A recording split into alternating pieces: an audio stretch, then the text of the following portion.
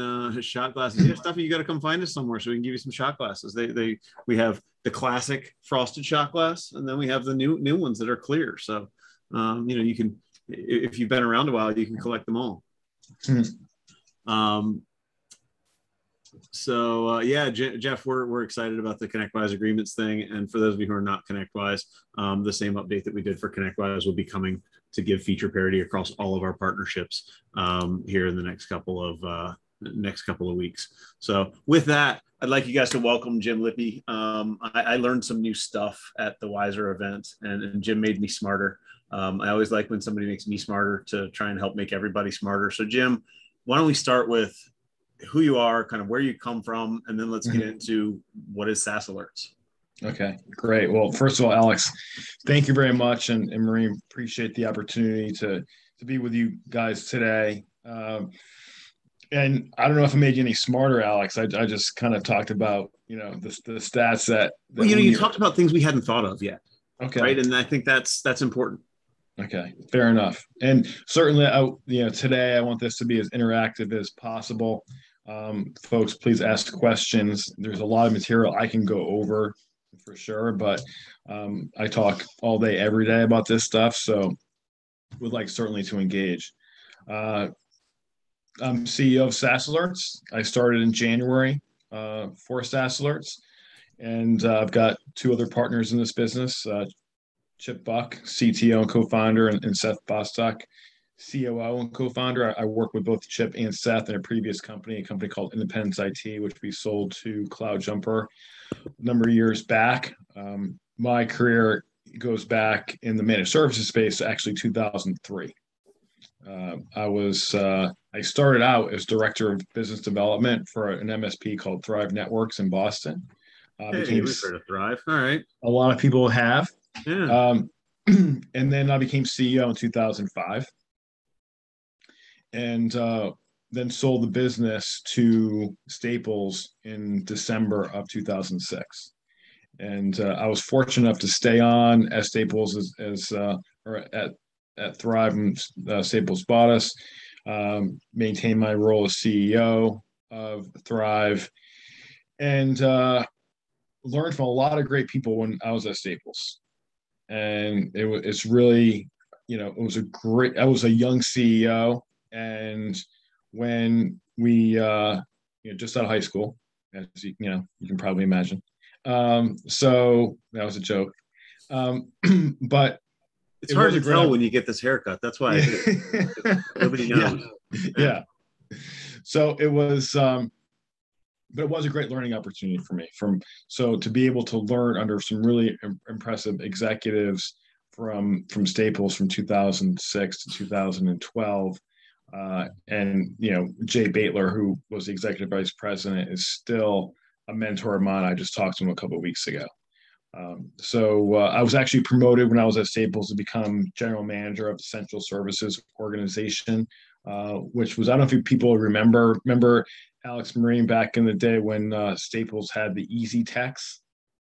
I, I actually have an Easy Mobile Tech uh, Polo somewhere because they didn't have techs in Delaware because nothing's in Delaware. So yeah. they paid me to come stand at a trade show and be their mobile tech and answer technology questions when I was still a little break fix shop and it would take a nickel to do anything because we, we, had to make payroll, right? Before yeah. managed services, it was like, oh, you'll pay me to stand at your booth for an hour. You pay my full rate. I'll be right. there. Right. Yeah, yeah. exactly. Yeah. so, uh, so you remember, so basically I got promoted to run that business. Believe it or not, it was a $180 million business.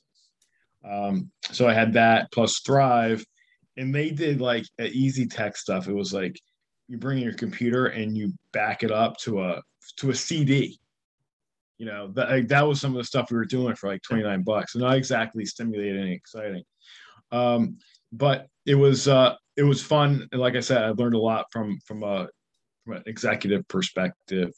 Uh, went to Independence IT, joined Chip and Seth. We sold that business. I spent the last four and a half years at Kaseya, um, where I was GM and senior vice president of Kaseya and, and ran our MSP community, 20,000 strong globally.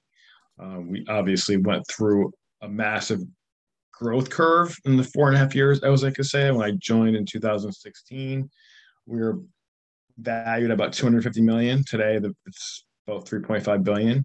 So pretty nice run there. And I also learned a lot at Kaseya. And uh, I learned some really good things, and I learned some things that MSPs don't like about big software companies.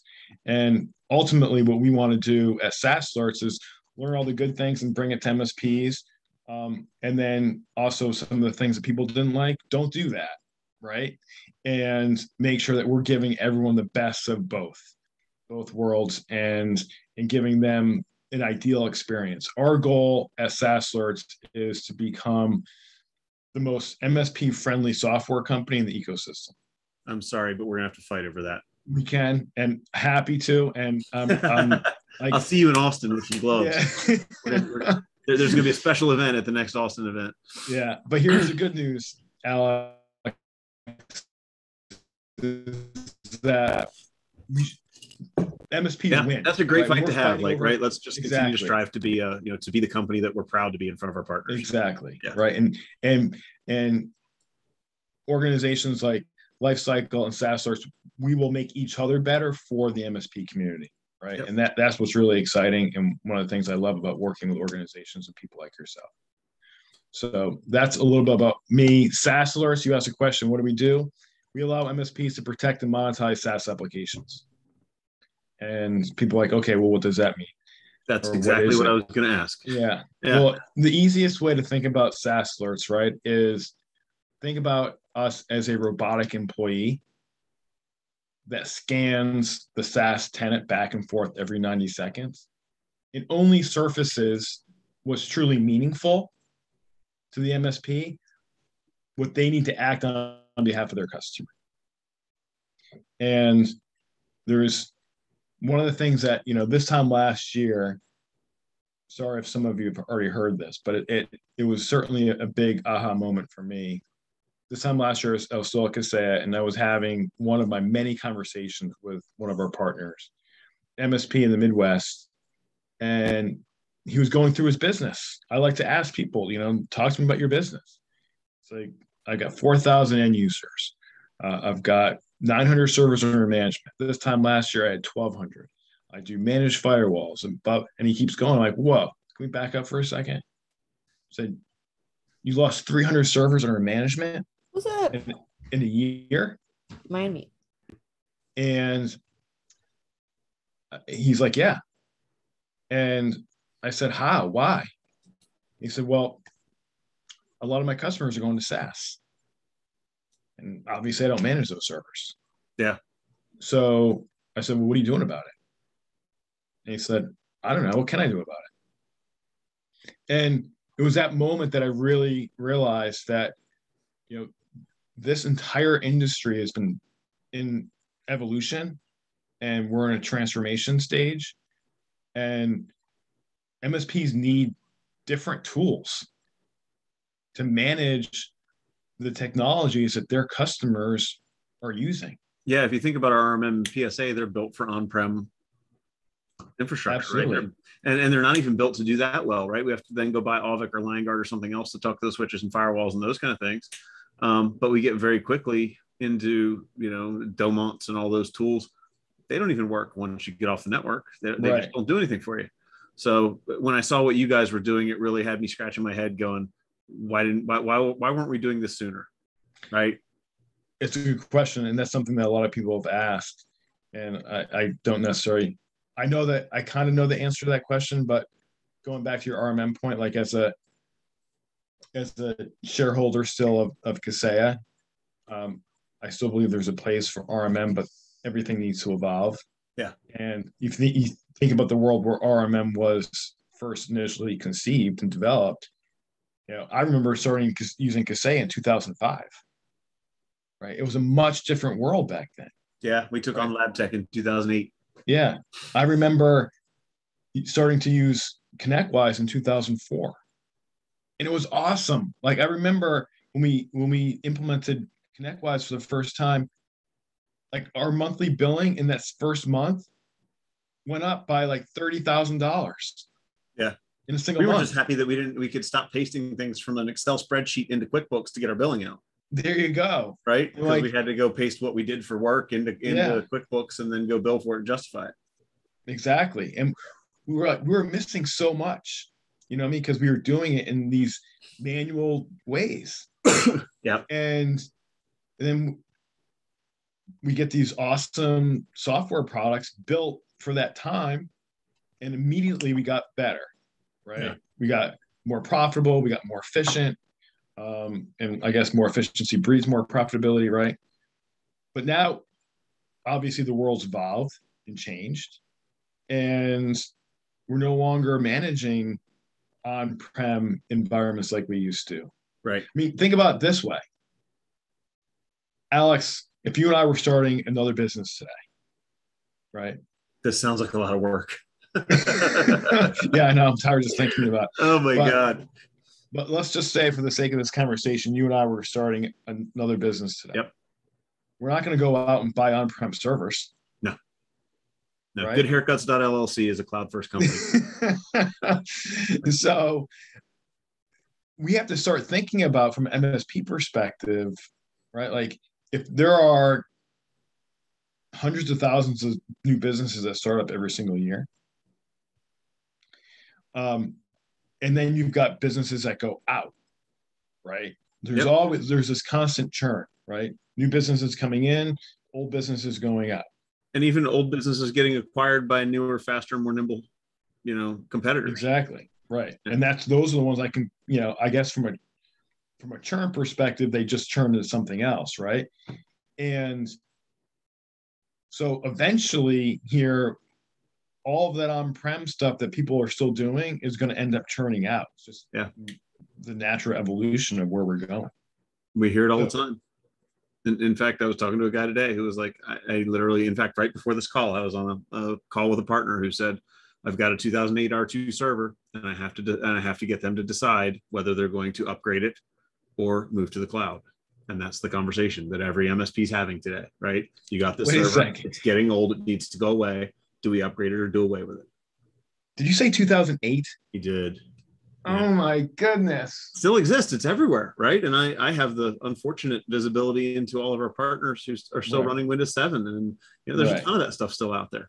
Right. Um, so you know, we still need our RMMs because there's still folks stuck in the past, but uh, we need to start looking at this new stuff because with Lifecycle Insights, this guy's going to go meet with his partner, with his customer. and He's going to say, "Hey, you know, this is a risk. There's exposure here." And you need to upgrade it, or you need to get rid of it. And he's going to push them to get rid of it. He's going to push them Right. to go to the cloud mm-hmm. and that means all of their data goes into one of these cloud stacks where he doesn't have as much visibility into it. Right. Wow. When you said 2008 server, it, it, it brought me back to like a couple days ago. I was on the road and I saw saw an El Camino. That's what it reminds me. I feel like an El Camino is a little a little further back than 2008, but uh, of course, maybe- it's back. I'm just talking about in terms of holy uh, crap, old. functionality. Yeah. You know I mean? Oh yeah. Yep. So so talk a little bit about what you guys do with SaaS platforms because just to be able to monitor them, uh, that sounds all well and good. Mhm. but um, you, you guys are doing some really neat stuff and you, you talked through it at uh, the event in austin how you Mhm. guys are, are watching microsoft 365 and i think uh, i would say an overwhelming number of our partners um, use 365 probably more so than any other tool that you guys can monitor Right. um, you know what are you guys looking at in 365 what's the the, the process look like what's the end goal right. So, would you mind if I share my screen? yeah go ahead hold on i'll, I'll stop mine here and you can fire away because I think sometimes it's easier to tell in pictures. Yeah. Um. So let me see.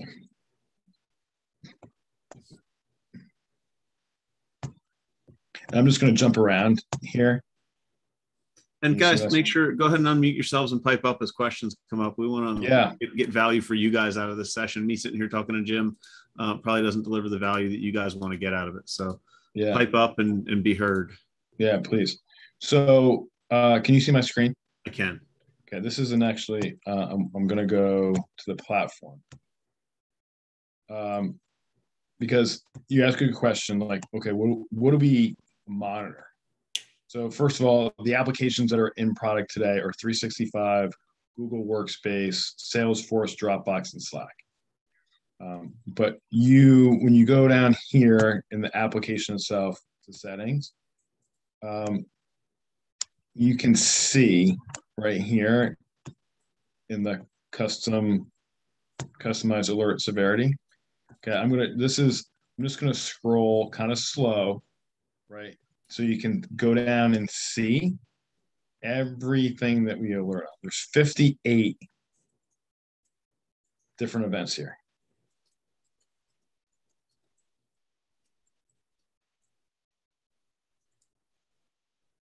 So you get an idea. Now, yeah. one of the cool things that we released uh, a couple months ago was that you can you can see in the on the right hand side there uh, you can actually customize the severity of your own alerts now right so you monitor these events and you can based on your specific requ- requirements as an organization and what's important or not important to you you yeah. can go in and you can actually customize the severity of these alerts. I hadn't thought about it till you said it on stage the other day that you know you go share all these links out. You make all these sharing links in your in your cloud platform. Mm-hmm. and and i do it all the time. I, I work with a customer i record our conversation and then i share that link out to that customer. And it makes a, a unique share link. Right. And how many of those orphaned links probably exist in your platform over the time you've been doing doing business and it, it just hit me that i don't even know where in my platform to go and look and see where all those exist so let me show you this.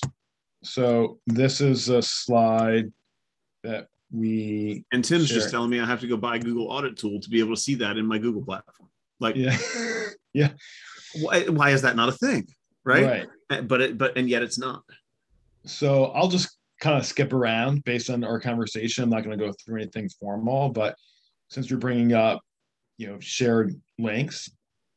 So in that presentation, I mentioned that we have something called the SASI report. It stands for SaaS Application Security Insights.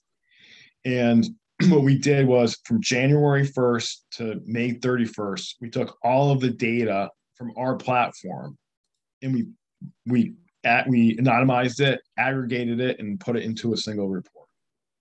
And the report has 30,000 users, we had at the time 105 MSPs. We now have 200, um, and it constituted 750 small businesses.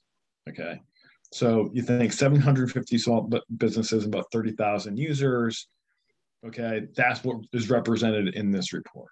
So a decent sample size, but not very, not huge by any means, right? But first of all, most it's very difficult difficult to get this information around small businesses, right? So this is and you're looking at companies from two employees up to 1800 employees okay? So everyone looks at enterprise and has a lot of great stats at enterprise. Very few people actually can get down to a small business. But you know if you and i alex are doing you know we started this business or we're thinking about starting another business right and we're sharing information back and forth via google drive or onedrive or whatever like let's just say six weeks from now, we're like, oh, you know what, this is too much work. We're not going to end up doing this. Okay, whatever. We stop. Those links that we shared are still out there because 99% of end users do not terminate those links. So they become orphaned. And when they become orphaned, that means someone can grab them and use them to tunnel back into that SaaS tenant. So it leaves a massive gap and specifically when you're sharing it external to your own organization right right one of the things that we found in our study was that you know just again based on our our sample size you're looking at 175 uh, files shared per hour and 16% of those are shared externally. That surprises me alone. Just that the external number of shares is that small because pretty much everything we generate a link for to share is external and we do a good bit of it. Right. So it's just well, first of all, worst at that right? Because we're just yeah. throwing out there whatever we need to do to to communicate with the customer yeah. to make it easy on them. But you're talking still it's a i mean it's 16% and a really big number yeah like 317,000 shares, right? So you're talking about almost 60,000 shares over 750 businesses in a little over five months. So what do MSPs do with this information? Like what's the what's the next step now that we accept that this is a thing? Mm-hmm. Honestly, the way we use cloud platforms is almost kind of broken. It's by right. design. It's we're using them as designed, but we never clean up after ourselves. We never, uh, mm. you know, nobody ever goes back in and does the cleanup and the maintenance. How do you use this to get an end result out of your customer? I mean, MSPs don't have time to go in and clean up after every silly sales guy who who creates sales link or you know who creates links. Yeah. So now I'll, I'll jump to this to answer that question. So this is um, just signing into our reporting engine here. And first of all, let me say this like people aren't even aware of what they're sharing and what they're doing a lot of times. Like in this chat right here um i don't know let's just take a look. I mean has anyone shared a link in here? Uh oh we still see your uh your SaaS alerts login page. Oh you know what? Let me see.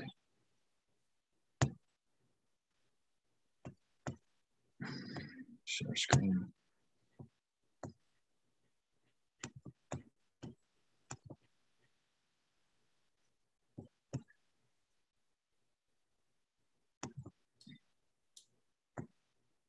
Okay. So what I was just saying in terms of this chat, right? Let's just take a look at this. Can you see the chat? My chat? I still I see a risk dashboard.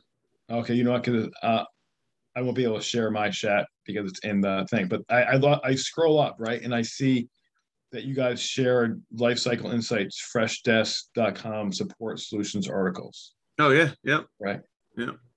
So you just we naturally do this right? So one of the applications that we're going to, so people ask why Slack, is because people are constantly sharing information in Slack. Yeah. And then we're going to be, in, we're going to actually start monitoring Zoom too. You're like, why Zoom? Like this is exactly this. Yeah. Yeah. Because anywhere that people are sharing information needs to be tracked. Yeah. So this comes back to your question. Okay, so now if you're an MSP, you've you understand this information, you're armed with this information. Okay, now how do I act on it? So we're now in our reporting engine. And I, I can go here. First of all, this is just take a step back. So this is, you know, MSP in South Carolina called VC3. I can just go in, I, I uploaded their logo from their website, change their, the color scheme because I can do that, right? So now I can completely customize this the way I wanted to look. I hit save and I'm off to the races. So now I've got these custom reports. I go in here and I say, okay, I um I want to look at some of these file share stuff. So I'm going to do the SaaS cyber assessment. I'm going to pick my customers that are in a drop down that I've already set up here. Uh, I'm going to pick a time frame. Okay, so uh, let's just go back to August. We'll the month of August. And we'll run this. So we can see here, and I'm going to explain. So we we spell out exactly what you're looking at. Yeah. And I'm going to I'm going to explain why we do that because MSPs like, oh well, I can just explain it. Well, what if that? What if you you're not there to explain it? And I'm going to get into that in a second. But so uh, gr- green is good, red is bad. Now this is all interactive stuff. I can scroll over this and I can take a look at what it actually is. Yep. So if you're presenting this in a Zoom or in you know a conference room, you can be interactive with this, right? In dynamic. Um, so I, I now know like all you know basically where the critical alerts from different geographic regions are coming from for for my customer. And you guys have integrations to our common PSAs and those kind of things, so that if a, a critical alert comes through, like someone logged into to my G Suite from South Africa, you're going to alert the MSP in their in their working tools, right? They don't have to be in SaaS alerts to do all this. Right. So this is was never designed to be another pane of glass for people to look at. It's we have integrations with ConnectWise, with Autotask, and with uh, BMS. Okay. So How about our, now we integrate with Syncro and Halo. Have you guys looked at those guys? Are they on your so we definitely looked at them and they're great platforms. We just haven't gotten to them yet in terms of integration. That being said, what we did was we created a universal email connector. Perfect. So, So you can still send alerts to those you know, guys. you can still send alerts into those Perfect. systems as Cool. well. Right. So basically now as the MSP, you know, I can go, so Alex just say, I'm your MSP, right? I can go to you and say, look, Alex, we're monitoring your 365. And over the course of the month of August, you know, we monitored for you uh, nearly 64,000 events. Um, almost 1,100 of those were critical alerts, and 585 were medium alerts. So what we did was we looked at all of those critical events and alerts, and where where it was necessary, we intervened and and mitigated your exposure. Um, and here's a list of the incidents from a breakdown perspective. Okay, and this can this is interactive, so you can be dynamic with it and just change things as you go. So authentication success doesn't matter. OneDrive modified doesn't matter. Um, so we'll just go down and you know what's ever important, Yep. we will highlight, right? So then we um, we go down, we, we see the top 10 users in your company that were unable to log in, um, you know, due to failed attempts, right? Yep. So we can see these individual users and and then in the application itself, we can do forensics and we can actually dig in on any user that you want, Alex, because you may have questions like, well, why why is Laura B like not able to log in 261 times? Well, you know, that actually could be a sign of a brute force attack. Right. Right. Right. And then we actually explain here what a brute force attack is. And you got bad actors constantly knocking at the door and what all that means. Right. Um, then you look at your top 10 users in the business throwing off the most alerts. And one of the things I say all the time, Alex, is look, to me, this information could be completely innocuous, um, meaningless. However, when I pair it with your knowledge about your own business, it could be quite meaningful. Yeah. So let's just say, for the sake of this conversation, Alex, you were like, wait a minute. Uh, last week was Anthony's last day, right? And I see Anthony here has threw off 115 alerts in the month of August. What was he doing? Why did he Right. throw up that many alerts? Well, you know that he left. I didn't know he left. I'm your MSP, right? I don't necessarily know when everyone leaves. So, and guess what? We just found out that he just went to a competitor because he just posted on LinkedIn. Right. Right. And now he shared Now- some files he shouldn't have shared or made something Right. accessible that he shouldn't have made accessible. Exactly. I'm sure no MSP here has ever dealt with that. Never. Yeah. So now, Alex, what we- what we're going to do is after we go, we have this meeting, we're going to go back through and we're going to look because you told me that he left. I'm going to, from a forensic standpoint, I'm going to go back in the application. I'm going to, I'm going to dial in on Anthony and I'm going to look at all of his alerts because I can run a report just on him and see, you know, what's going on with that specific user. Yep. And I can tell you the files that he shared, who he shared them with, when it was. Um, we can follow those documents around the internet. Nice. So, coming back to your question, now that you're armed with this concept and idea that this is important, how do you act on it? You act on it through visual, visualization and reporting back with the customer and, and collaborating with them on the information you have that you can give them. Um, and then you've got your login activity, right? And unapproved logins. So these are, you know, these lots of times what happens, you see this because these are from unapproved countries. Yeah. Someone's got their credentials. Yep. And they're logging in from someplace they're not supposed to. Yep. And that's why we see this. Um, and then you looked at okay, where where okay, where are they coming from? Right. Here's the locations they're coming from. And then let's go back, you know, the externally shared files. This is an aggregate look. 142 anonymous links. What? Insane, right? So, and here, here are the users you have that are out there sharing stuff. Like, so. And now, does anonymous mean shared to anyone? Yes. Okay. It's not to a specific person. So is the is the user here then who the file is shared to, or who shared So- the file? So, uh, shared to.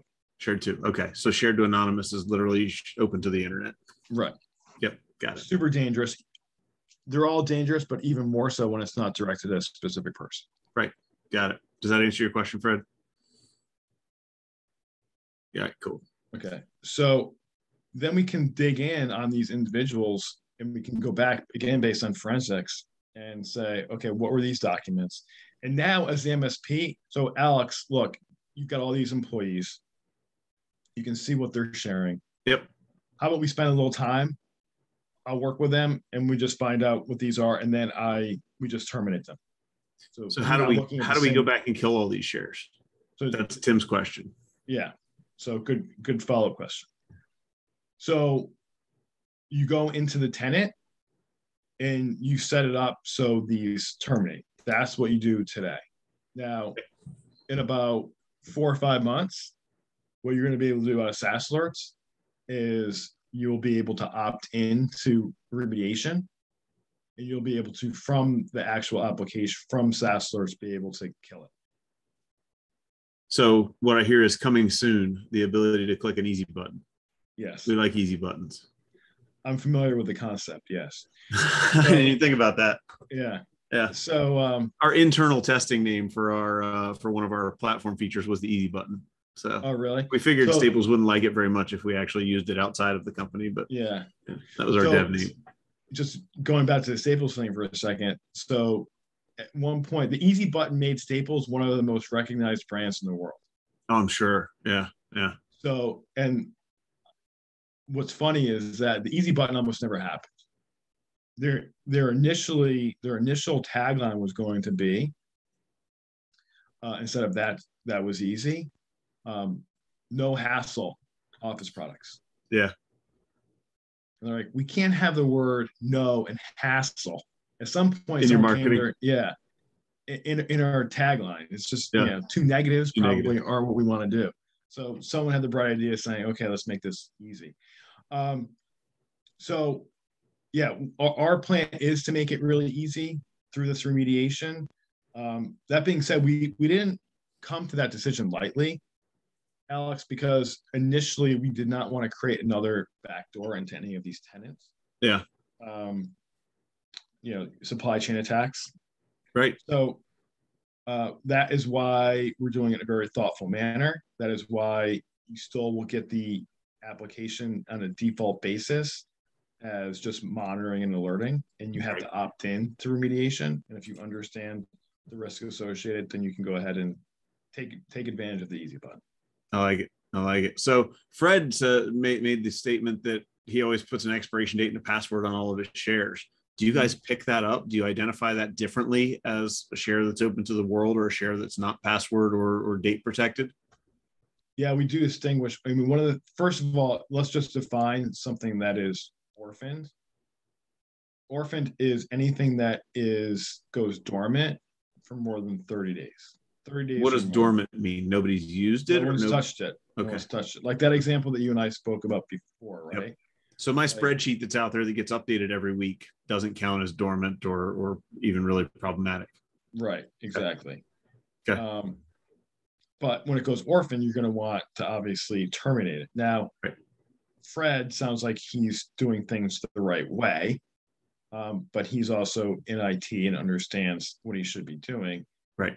This isn't really, you know, if all of our end users thought like us, like IT people, A, we wouldn't have jobs and if we you know we wouldn't get paid nearly what we get paid to solve these problems because there wouldn't be nearly as many problems um, so this is geared toward the vast majority of the end users out there that aren't using the right precautions when leveraging SaaS applications. Right. Now, I always say one of the great things about SaaS applications is it's super easy to share information. One of the bad things about SaaS applications is it's Yeah. super easy to share. to share information. Yeah, no, that's that's so true. So today, you guys are monitoring a handful of applications out there. What's on your roadmap for? You said you said um, you're doing Slack today. Which one did you say was coming? So Slack's Zoom. You said Zoom. Slack's in coming. QA right now. It'll be in production soon. Um, Zoom is on uh, on the list, um, and um, and then before Zoom, actually, we are going to be releasing. Um, and not many people know this at this point. I told the seven figure group, you know, last week for the first time anywhere in public um, but I'll share it with with your folks as well. Alex, um, IT glue. I feel like that's a drop mic moment right there. So say it again. IT glue is up next. They're going to be monitoring your IT glue. How much data is in IT glue for an MSP? So Like everything. That's the that's the app that keeps you up at night. yeah, so this is what was shocking to me, and why we have to do it. Mhm. So when we dug into it, and we, you know, when we first started thinking about this product, we are like, oh, it would be cool to kind of also help MSPs with their, their own tools, right? And then, but you get into this and you're kind of lose focus on it. And then we had MSPs start coming to us and saying, can you do any of the MSP tools? Like, we want to make sure that we're locked in. They're the scariest tools we have. Yeah. right? I mean, then we look- an Excel spreadsheet pales by comparison to the data that's in ConnectWise, IT Glue, any of the RMM platforms. Like Right. these things are scary. Right. So, so then I started asking MSP owners, not techs, owners. Can do you use IT Glue? Yes. Do you have all your customer passwords in IT Glue? Yes. Ninety-five percent of IT Glue users or MSPs store their passwords in IT Glue. It's where the value of the product is, right? Right. It's, it's part of the functionality. So why wouldn't you? Right. So then the next, the follow up questions are can you tell me who's logging into IT Glue when they're logging in? Um, What country they logged in from, maybe? where where they're logging in from, Yeah. Um, what they're looking at, what they're taking, and what they're changing. And everyone looks at you with kind of a blank stare and they say, no. Right. Now, does IT Glue have auto logs? Yes. Do people look at them? No. Um, so uh, someone came up with We looked at them when somebody got fired, right? When somebody got fired, left the organization on bad terms, we went, oh crap, we got to go change every password they've ever touched, get an IT glue, see what they've touched. Mhm, It's the only time we looked at them. mhm. So someone came when I was explaining the fact originally IT glue the other day, they said, That is brilliant. That is awesome. I can't wait. And they came up with this analogy. I didn't, but it was it's kind of like your credit card statement. Like your credit card. So credit card companies have gotten really good at alerting you when there's unusual behavior going on with your credit card. Right. Um, I know I get those alerts. Yeah. And to the point where sometimes if it's really unusual, you can't use your credit card. Mm-hmm. They lock it up Yeah. until they call you and find out that it's you. But so what we're doing is we're alerting the owner when something unusual is happening uh, from an end user perspective and saying, hey, look over here, as opposed to making the MSP owner go into their credit card statement every single month and scroll down and make sure every single charge is correct. Well, that brings up an even better question. Is there an API capability for you guys to actually lock somebody out of IT glue until something like that's resolved? Does that feature So- even exist? Does that function exist in the API? So it's interesting, and right now we're still working through it, right? Because we're gonna we're gonna release this in in October, but that would end up coming not initially because again, remember we're still alerting and monitoring. Right. Once we get to the remediation stage in the product, right? we we're going to treat IT Glue just like we treat any other application, just like we th- Awesome. treat 365, right? So therefore, yes, if something nefarious is going on, and something is alerted, um, then you'll be able to basically lock that account, right? One of the things I found out, I didn't know this until we started really looking into this. With the right permissions, you can download the entire password base. Yeah, Yeah. that's a little scary, isn't it? Yeah. Yeah. That is something that should be alerted on no matter what. No, I don't care who has permissions. Yep. Right? That is, that is something absolutely right. I don't care who you were. I want to know you did it. Right. There may be a legitimate reason for it. Right. We may be Right. printing a run book to go stick in a safe somewhere. Right.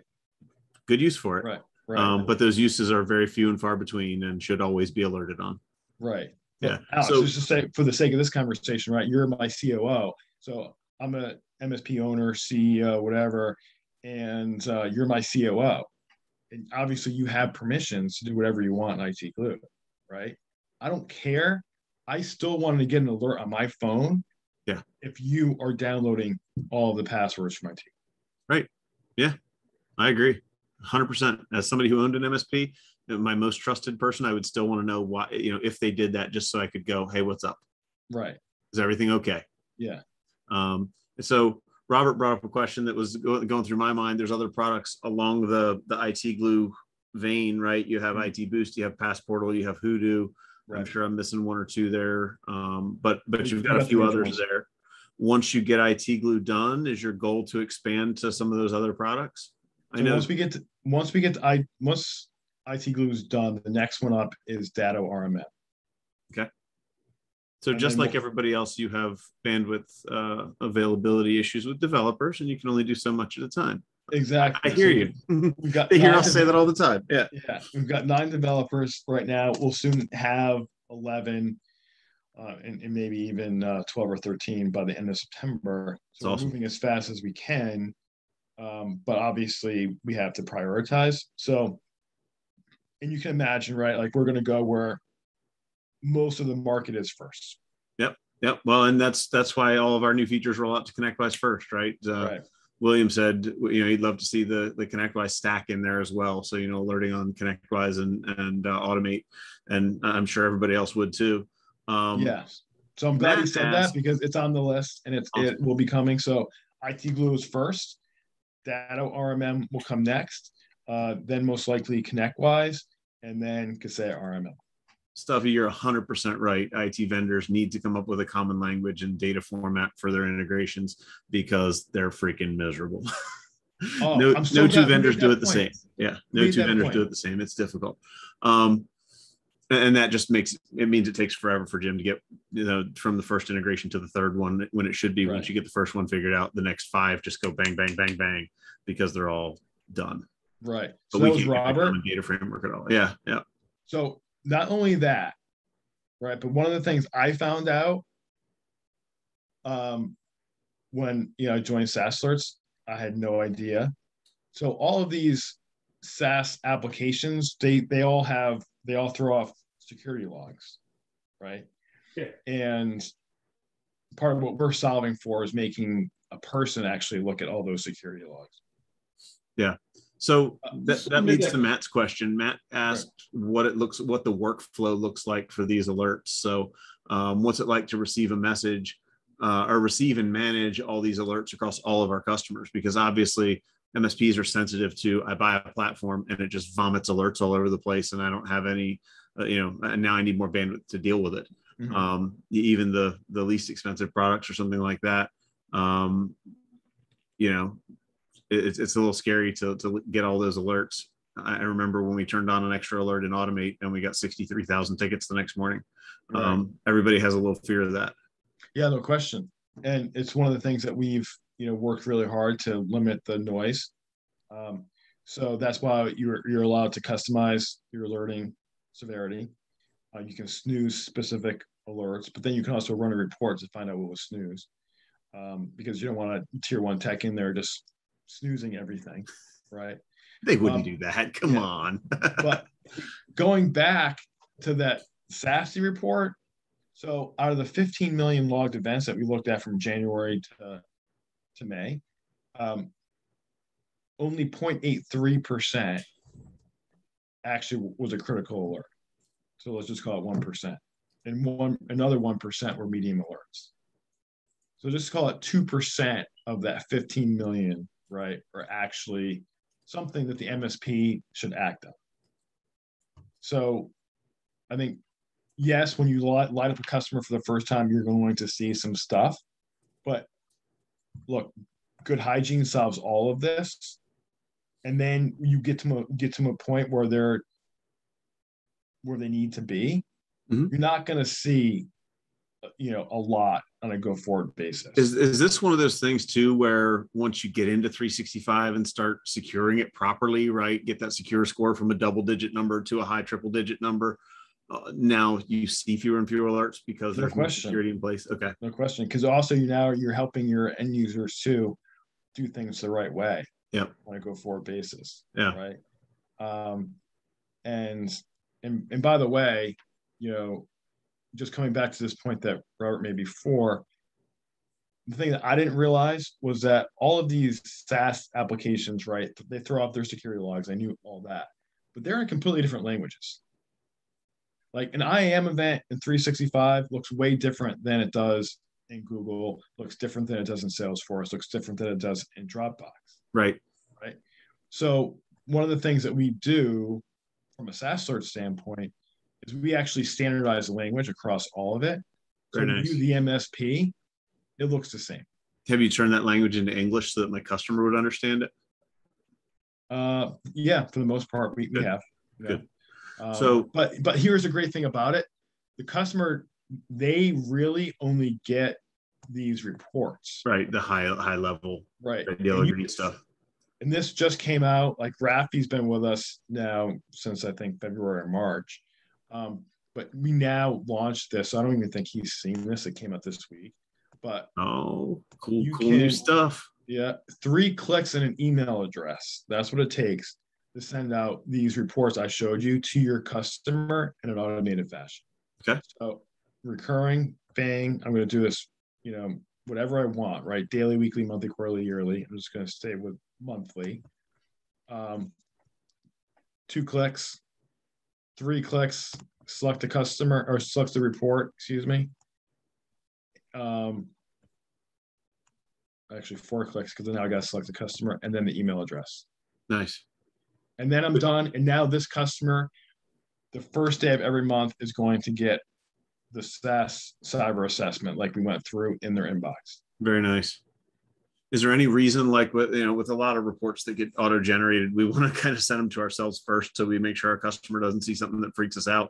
Are these fairly well sanitized enough that they can go direct to customer or should they go to an account manager for triage first? Well if i'm an msp what i'm doing is i'm saying okay before every you can send them to whoever you want right? So if you can set you can i would if i'm a account manager at msp i'm getting them daily yeah. If I'm an account manager, I don't want my tools sending something straight to my customer because I want to protect that relationship, right? I'm I'm I'm that relationship guy. But um, although a lot of people, a lot of MSPs do just want to send. Yeah. Right. And then a lot of MSPs, eh, let's be honest, a lot of MSPs don't have their act together. Let's just call a spade a spade. Um, so to be honest, that's what we do here. That's why 20 people show up on a Friday, uh, right. uh, on, a, on, a, holiday Friday. Um, so um, a couple things. Tim asked a, a good question that kind of goes into another question that I was going to ask, which was around compliancy frameworks. Number one, mm-hmm. he asked if you tie into or align with any compliancy frameworks, and my question was going to be, are you aware of any frameworks that are you aware of any? I'm sure that frameworks want want you to monitor these cloud apps, but I'm not sure the exact portion or the exact part of a framework that says thou must, right? Mm-hmm. Everything's about on-prem AD and about directory services and Uh, are, are, you are you guys exploring or or do you have any experience in compliance frameworks and where this ties in and, and where this is applicable to folks who are making a compliance push? This is the entire reason why SaaS alerts exists. Okay. So the story behind the way SaaS alerts was started was that Seth Bostock, one of the co-founders, COO, was working as CTO of a company called Claimify, like two and a half years ago and he needed to pass a SOC 2 audit because they they're a 15 person organization, but they do business with big insurance carriers. So in order for them to transact with the insurance carriers, they needed to get their audit. They needed to get have their compliance. So we're going through the audit, and auditors come in and be like, "Okay, show us this, this, and this." Like we don't have that. Right. Like, well, we just have SaaS applications. Seth was like, "Look, we're we're on Google, you know, we're on G Suite. Can't we just trust they do it all right for us? Yeah, we're in, we're in G Suite, Force.com, Salesforce, yeah. Jira, and maybe there's one other um, SaaS application I'm missing. That's it. Yeah. And everyone's just accessing these applications or laptops. Yeah. The auditor was like, look, I don't know what to tell you. I can't pass you until I have verification that, that these applications are being monitored. Yeah, that's awesome. And, and the users are being monitored. And yeah. so Seth looked around the you know the world and said, "What can I? What kind of SaaS connectors out there that I can leverage?" The only thing he found at the time was Arctic Wolf. Mm, Alex, wow. guess how much Arctic Wolf charged him for a 15 person organization to monitor 4 uh, actually, it was just Google at the time. Um, Google. Uh, I'm afraid to guess. Give throw out a number. Five hundred bucks a month. Twenty-eight thousand dollars a year. wow. So that's that. That's going to lead to the question that's already been posed. Um, these guys are are getting hit every day with a new product. They're they, they have uh, you know they get spammed with new vendors and they have some some uh, some weariness of new products and, and new spend. Um, what does this thing cost? Are we are you willing to share that here in front of, of course, because these are all MSPs. Okay. Um, it's fifty cents per user per month. Oh my God, we're all going broke. So one, once and once you get to 200 users, you actually use it internally for yourself. Okay. Um, Tim said he went to your sign up page and got prompted for a promo code. And now he wants a promo code. So I know I, code. everyone gets a 30 day free trial. there you go. Um, everyone on this list gets a 30 day free trial. We, uh, but I will tell you the process. When you sign up for the trial, you will go into a holding pen, if you will, so we can verify your domain. Because we only do business with MSPs and we take it to an extreme. So you don't sell direct. So we don't sell direct. Awesome. Right. So we we need to verify you're an MSP. Once you're verified as MSP, you will have 30 day free trial. And I recommend take advantage, put as many customers on as you want, and then run these reports. So if I put all my customers on it for 30 days and then half of them don't want to pay an upcharge or uh, I don't see the value in keeping it, I can take them off. Absolutely. Just take them off. I like that. We do a 30 day free trial. I like it. I like it. Jim, I like where you guys are coming from. It is 359 on a Friday yeah. before a holiday.